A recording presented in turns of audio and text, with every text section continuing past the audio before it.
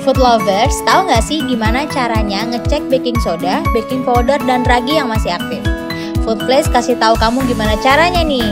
Yuk simak caranya berikut ini. Buat cek baking soda, yang diperlukan adalah baking soda dan cuka.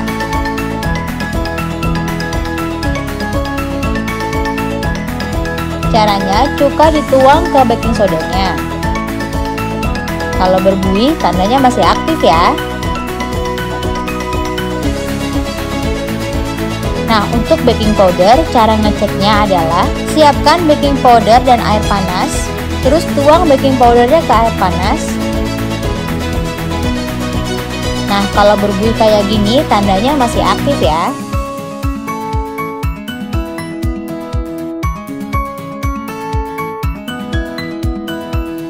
Untuk cek ragi, siapkan air som-som kuku, gula, dan ragi. Airnya dicampur sama gula terlebih dahulu, terus diaduk. Habis itu, tuang ragi, aduk lagi, terus tutup.